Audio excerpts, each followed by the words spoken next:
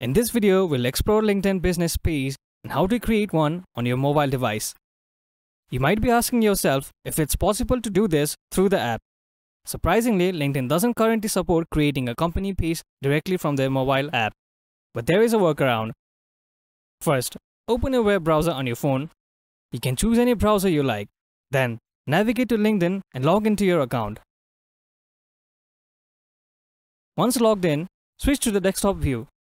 This option is typically found in the bottom left corner depending on your browser. After entering desktop mode, look for the dot icon at the top right corner and tap on it.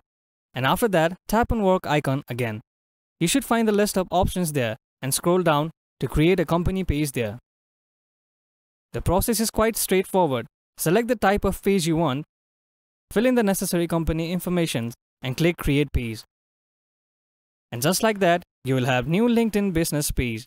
With your page created, it's time to focus on growing it. You can share quality contents and limit the advertisement and promote your page. These are some few tips which will help your page grow. And that's it. Thank you for watching. If you find this video helpful, please don't forget to give it a thumbs up and subscribe to our channel for more.